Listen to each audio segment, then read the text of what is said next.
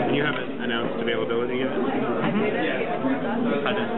Announced availability? Uh, uh, we will not uh, this April in Europe first. Okay.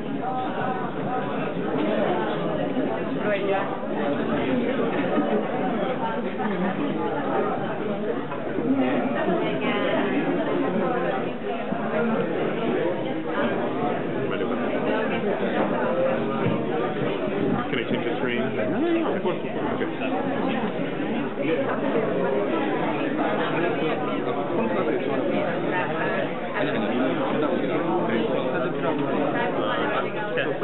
Gracias.